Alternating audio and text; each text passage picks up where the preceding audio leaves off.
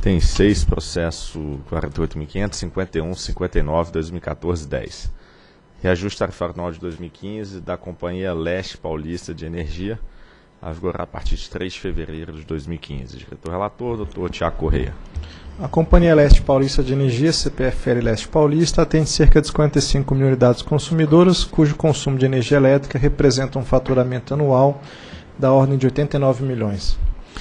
No processo tarifário de 2014, as tarifas da CPFL Leste Paulista foram em médias reposicionadas em 7,67% negativos, a partir de 3 de fevereiro de 2014, sendo 4,74% negativo referente ao reposicionamento tarifário econômico e menos 2,93% relativos aos componentes financeiros pertinentes, conforme consta da Resolução Homologatória 1681.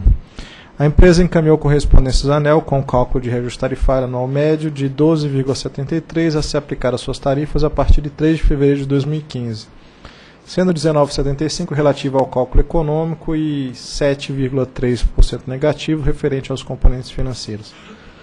Mediante a nota técnica número 18, a SGT consolidou o cálculo do reajuste tarifário anual da CPFL Paulista. É o relatório já tem a manifestação da Procuradoria, passa então direto à, à fundamentação. É, de acordo com a nota técnica 18, de 20 de janeiro de 2015, o efeito tarifário a ser percebido pelos consumidores a partir de 3 de fevereiro de 2015, conforme apresentado na tabela 1, será de 24,89%, dos quais 28,82 correspondem ao cálculo econômico e menos 8,02 aos componentes financeiros a serem considerados nos próximos 12 meses e 4,09 do efeito de retirada de componentes financeiros do processo tarifário anterior. Então temos aqui o efeito médio de 24,89, sendo que a alta tensão será reajustada em média 25,30 e a baixa tensão 24,73. Com relação ao fator X, como destacar que os componentes P, D e T estabelecidos na revisão foram de 0,81% e 2% respectivamente. A variação média dos indicadores de DEC e FEC da CPFL Paulista entre os anos civis de 12 e 13, expurgando as interrupções decorrentes de causas externas ao sistema de distribuição, foi de 2,22%. Considerando o desempenho relativo da distribuidora, conforme regra estabelecida no submódulo 2.5, o valor do componente que era ser aplicado, a atualização da parcela B do reajuste tarifário da distribuidora foi nulo. Dessa maneira, o valor final do fator X foi de 2,81 e a parcela B foi atualizada em 0,99, sendo que o IGPM totalizou 3,80, o mesmo valor dos demais votos. A tabela 2 apresenta os principais custos. A gente tem uma variação, a exemplo do que ocorreu nos demais casos hoje, muito forte de encargos setoriais, da ordem de 200% sendo que a participação no reajuste final é de 14,29 neste caso. É, aqui destaca, como já apontado em outros casos, é, o surgimento então do, da primeira parcela de amortização da conta CR, com efeito no reajuste final de 13,06, que corresponde a quase a totalidade do efeito dos encargos. Em relação ao custo de transporte de energia, há um aumento de 31,14%, mas um efeito médio no reajuste de somente 2,38%. Outro item importante de componente da parcela A é a compra de energia, que teve aumento de 27,87%, totalizando um efeito no reajuste de 11,73%. É, a parcela B, o reajuste de 0,99, somou no impacto final 0,43, o que totaliza então um efeito médio do IRT de 28,82. Os componentes financeiros são destacados embaixo. Basicamente, tem um componente financeiro muito forte da CVA, de 6,60 negativo. E os outros componentes financeiros aparecem com a parcela negativa também, mas menor. E aqui tem os repasses sobre a contratação, como já foi apontado né, num outro voto, era mais significativo, nesse aqui é, é só de 0,69. Total, os componentes financeiros dá 8,02. Como a gente já discutiu a tabela, eu vou passar essa parte aqui do IRT. É, a tabela 3 apresenta as principais variações na compra de energia. Aqui também a gente verifica é, dois efeitos que já se repetiram hoje. O primeiro é o, o contrato existente por é, CCR por disponibilidade, com um, um efeito é, do custo do combustível. Né? Ele aumenta, ele vai de processo anterior de 102 vai para 336. Isso ocorre também É, aqui não tem, de disponibilidade não tem esse efeito tão pesado, né? provavelmente dada a possibilidade de ser fonte de biomassa, no caso da energia nova e alternativa. E tem também a entrada de, do leilão de ajuste num total de 10.700 MWh dentro do mercado de 350. Então são os principais itens de custo. Ao todo, há um aumento de 108 do custo médio para 139, que calcula então a variação de 28,09 já apontada anteriormente.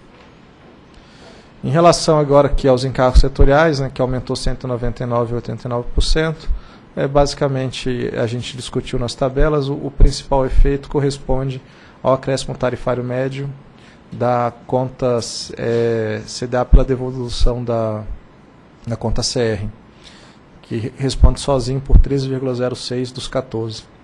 A gente pode passar aqui também.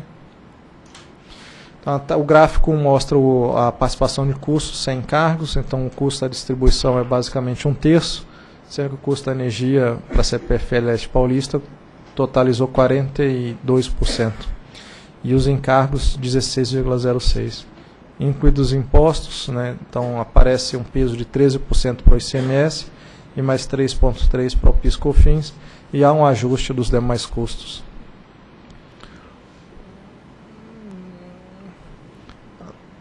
Tabela 4 apresenta o detalhe dos componentes financeiros, a gente tratou ela um pouco acima também, mas o principal item é, seria um, é, em decorrência do ajuste do CVA em processamento.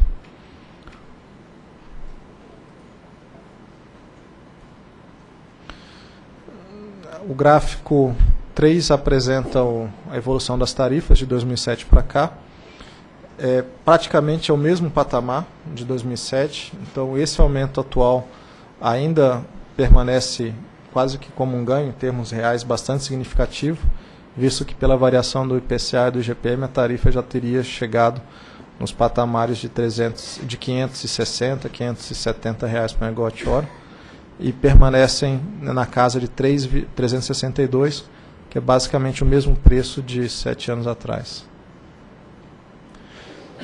Subvenção da CDE, então, como já discutido nos demais votos, eu também não vou me alongar, é, para cobertura dos espaços tarifários. É, no caso é, deste montante, conforme artigo 3 do decreto, o montante mensal de recursos CDS repassado às centrais elétricas Brasil Eletrobásica Distribuidora. Para definição dos valores mentais, ué, cadê o valor desse? Acho que aqui não tem, né? É. Bem, de toda forma, consideramos o CDE o mesmo valor homologado para 2014. Eu vou só checar se no dispositivo tem.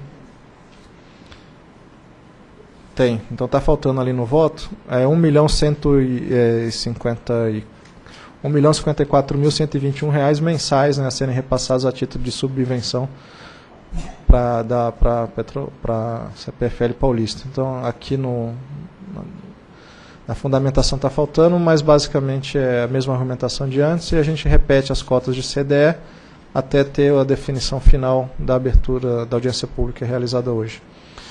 Do exposto que consta o processo 48.500.005159 de 2014, título 10, voto pela emissão da resolução homologatória na forma de minuta anexa com o objetivo de homologar o reajuste anual das tarifas da CPFL Paulista a partir de 3 de fevereiro de 2015 em 20,80%, o que conduz a um efeito médio a ser percebido pelos seus consumidores de 24,89%, sendo 25,30% para conectados em alta tensão e 24,73% para aqueles em baixa tensão.